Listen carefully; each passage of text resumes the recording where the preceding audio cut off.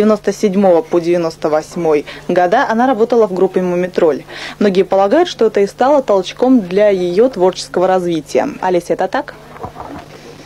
Ну, пожалуй, можно сказать, что так. Потому что «Мумитроль» вывел меня на новую дорогу в жизни. Раньше я стояла на перекрестке. Теперь я уверена, что следует заниматься ничем иным, как пением. А, ты знаешь, твое творчество очень полюбилось молодежи. Тебя многие люди хвалят. Ты не считаешь, что с уходом из группы «Мумитроль» ты что-то потеряла? Я не считаю так. Но даже если и потеряла, то я никогда не, не жалею о потерянном. А так вот между нами, а кто кого кинул? Кто кого кинул? Ну, это некорректный вопрос. Никто никого не кидал.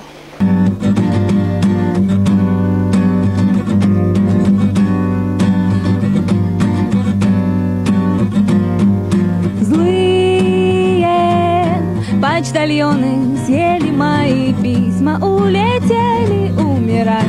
Понимаешь, хочешь жить, пропадает голос, хочешь петь.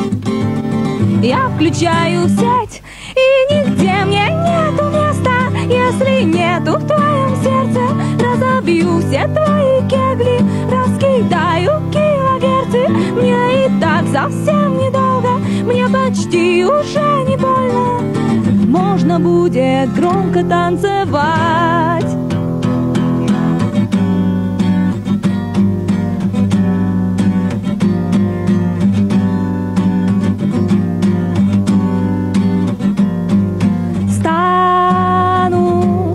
Я певицей, мне не помешают Драки горла, моя песня Мой ребенок будет жить